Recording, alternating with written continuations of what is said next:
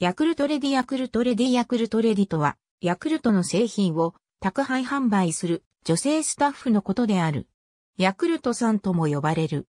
顧客の多くは一般家庭の主婦であったため、同じ立場の女性が届けることで親しみを持たれると考えられ、1963年から開始された。2013年には誕生から50周年を迎えた。ヤクルトのモットーである人々の健康を保ち続けることを目指し、自転車やオートバイ、マッタ自動車などでヤクルト商品の販売、普及活動を行っている。レティという名称がついているが、男性の販売スタッフも存在し、石井和久などが経験している。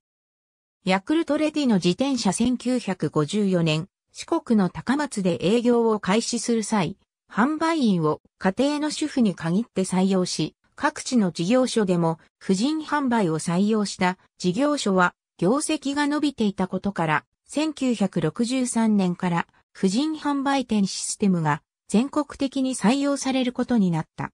子供がいても仕事ができるよう託児所なども整備している。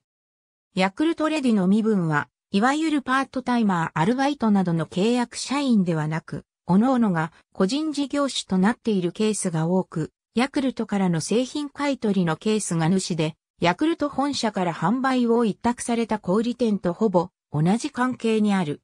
インターネットによる配達申し込みも導入されている。配達申し込みをしていなくても、ヤクルトレティに声をかければ直接購入ができる。ヤクルトは世界31カ国で販売を行っているが、ヤクルトレディは中華人民共和国やインドネシアなどのアジア地域やブラジルなどの南アメリカ地域で販売、普及活動を行っている。欧米ではヤクルトが販売されているものの、ヤクルトレディはいない。ヤクルト本社の経営陣は、ヤクルトの販売方法として、ヤクルトレディは適していると考えている。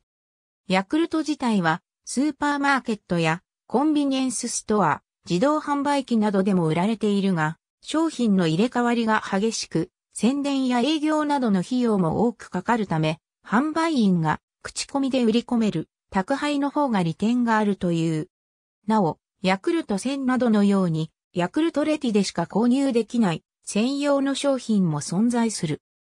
また、日本の租税などの面においても、ヤクルトレディは事業所得に分類されることと、会社側が契約を結ぶ顧問税理士に確定申告を任せることで、それぞれ最大65万円の家内労働者等の事業所得等の所得計算の特例と青色申告特別控除を同時に受けることができるため、給与所得が適用される通常のパートタイマーと比べて所得税や社会保険料の支払いの面で有利となる可能性が高い。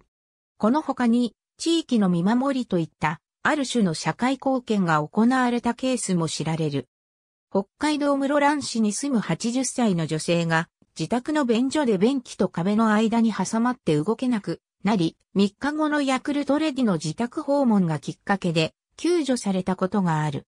日本ユニフォームセンターによると、2013年現在、日本での女性用の制服として、最も出荷数が多いのが、ヤクルトレディの制服であるとのこと。ただし2013年までの50年間に何度かモデルチェンジされている。ありがとうございます。